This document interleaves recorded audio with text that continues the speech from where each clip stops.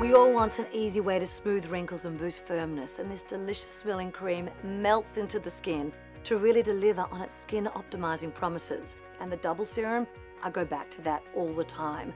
I combine it with the extra firming creams, and this is true skin glow stuff. It's a sort of product that you don't know how good it is until you stop using it, until you finish the bottle. So it smells good, it works, I love it.